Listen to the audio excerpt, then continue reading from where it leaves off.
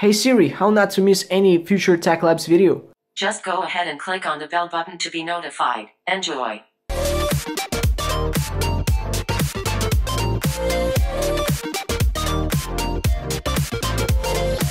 What is up guys, Tukushuru and today in this video I wanted to show you guys how you can remove jailbreak from your iPhone, remove Cydia and remove every single jailbreak component from your iPhone. So you will actually stay on the same firmware as you're on right now, so for me this is the iOS 10.2 and this is actually pretty cool because if I'd like to, I will be able to actually re-jailbreak my iPhone in the future. So guys, I hope you will enjoy the video. Of course don't forget to leave me a huge thumbs up, that would be so so much appreciated and let's not waste any more time and let's get started. And okay guys, so first of all I want you guys to go ahead and make the full iCloud backup through the iCloud because we're gonna be actually deleting every single file from our device. It's gonna be erased completely so we won't have any files saved. So make sure you do a iCloud backup. So next you need to go ahead and go to your Cydia and add two different repos that you see right now. One of them will be the Coolstar repo, this one the coolstar.org slash public repo. This one it's gonna be also in the description and the other one will be called the jailbreak hubs repo, this one. So the repo.jailbreakhub.org. So now once you've done this, go ahead and go to the Coolstar repo, then click on the system and select the last package, the stashing for iOS 9.2 to iOS 10.2. So this will actually be the ground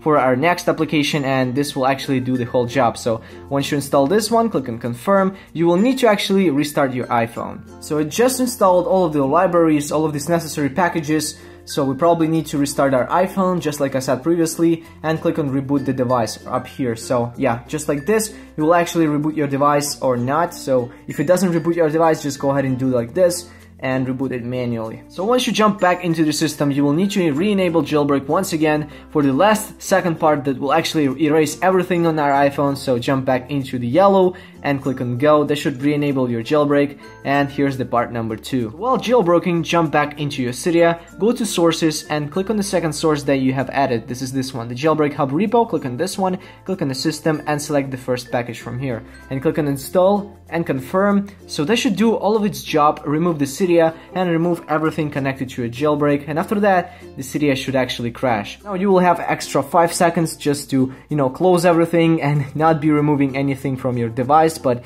as you can see, I've just ignored it. So it should actually remove the Cydia. So it actually took more than I thought, about 3 minutes, but now if we jump into Cydia, it will actually crash. So the Cydia is no longer on our iPhone, so the last part that we need to do right now is just go into the settings, go to general and go down until we see reset. Click on reset and click on erase all content in settings. So click on this one, we need to provide a password. So just provided the password, click on erase on the iPhone and erase once again so that should actually start erasing all of the content on your iPhone. So it usually takes like 5 to 10 minutes to finish the whole process but uh, please be patient guys don't do anything just leave it there make sure you have enough battery and just sit back relax and all that stuff and we will continue the process after it will do its job. And boom guys we're on the setup so let me just go ahead and do the whole setup process on my iPhone and show you guys that I still have the iOS 10.2 on my iPhone and I don't have any jailbreak. So I've just finished up the whole setup process and let's go ahead and check if we still have the iOS 10.2 on deck. So let's jump into settings.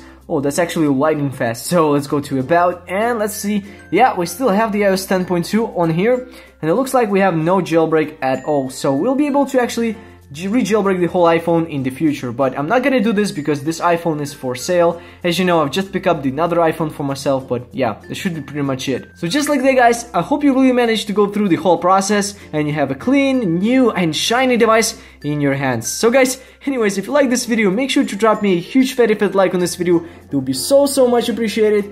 And as always guys, stay tuned for more videos and peace out.